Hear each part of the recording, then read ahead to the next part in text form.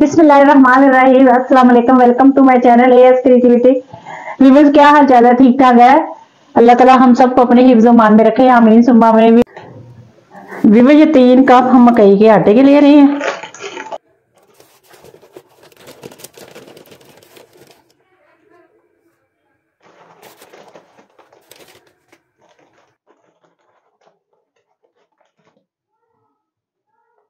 थोड़ा थोड़ा सा पानी डाल के ना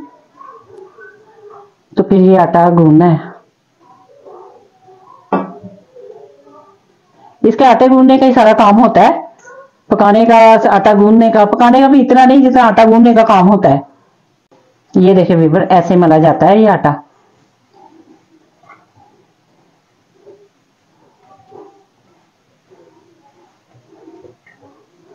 ये भी एक काम होता है, बड़ा ज़बरदस्त।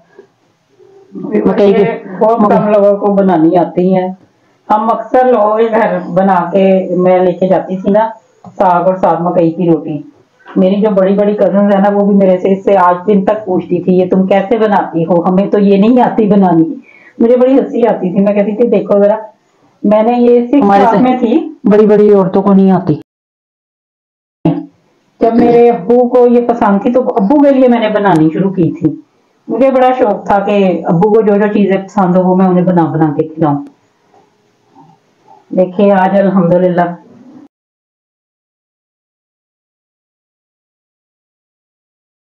जी, व्यूवर्स, पहले हम रोटी को ना हाथ से बड़ा करते हैं, फिर हम उसे अच्छी तरह जब बारीक सी, बड़ी सी हो जाती फिर हम उसे बेल के,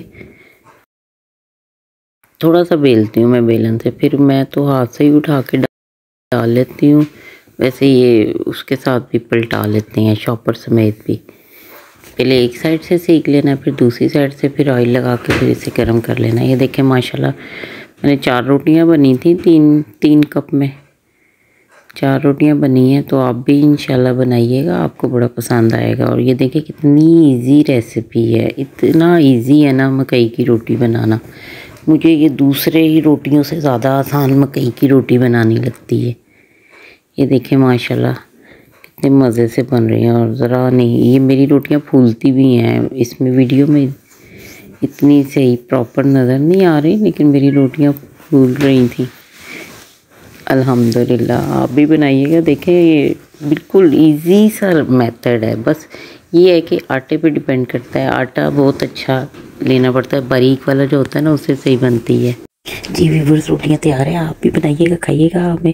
तो हमें याद रखिएगा हमारे चैनल या क्रिएटिविटी को लाइक सब्सक्राइब और फॉलो ज़रूर कीजिएगा। Thank you so much thanks for watching my channel okay हाफिज़